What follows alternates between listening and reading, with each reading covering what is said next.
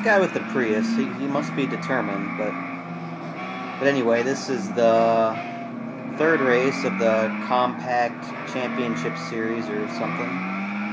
On what track is this? I don't even remember. Let me see.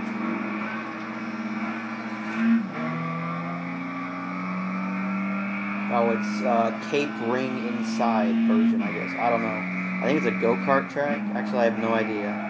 I've never done it before. It's really. I thought it was a really, really awesome track, though. I'll probably be on this track quite a bit because it is very good, in my opinion.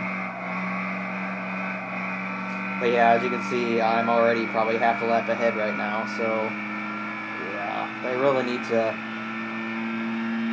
Well, I guess it is beginner series, but I mean, still, it is kind of easy starting out anyway.